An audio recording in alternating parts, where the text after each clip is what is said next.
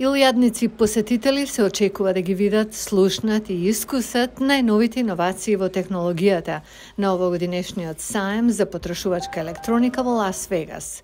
Најголемиот настан за потрошувачка технологија во светот овој пат ќе биде уште поголем, со 10% изголемување на изложбениот простор и повеќе од 3500 изложувачи. Ние го представуваме целиот технолошки екосистем.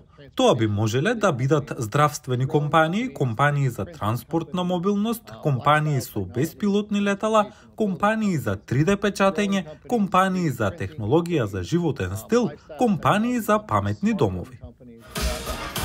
Повеќе од 300 производители ја сочинуваат само категоријата за транспорт.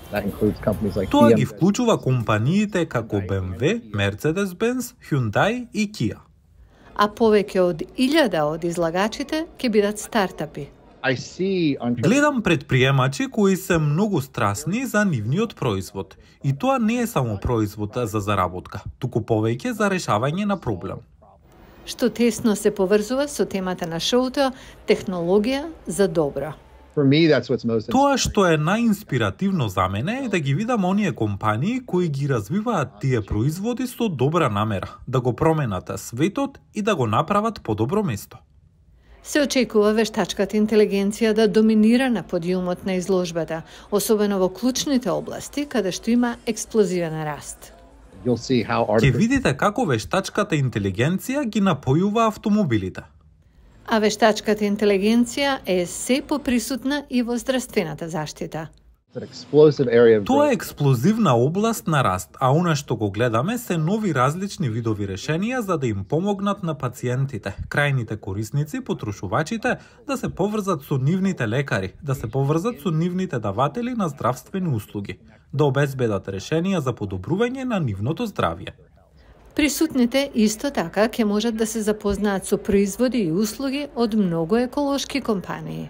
Компании кои користат чиста енергија или прикажуваат технологии кои штедат енергија. Гледаме дека се појавува и во категоријата земјоделска и прехранбена технологија, каде компаниите покажуваат како произведуваат на енергетски ефикасен начин, на поефикасен начин за да се реши недостигот на храна. Организаторите на шоуто очекуваат 130.000 посетители од 150 земји со големо присуство од Азија. Кина ќе има големо присуство. Кореја ќе има многу големо присуство. Азија е толку важен пазар за технолошкиот екосистем, што не би бил саемот за потрошувачка електроника доколку нема силно азиско присуство на саемот.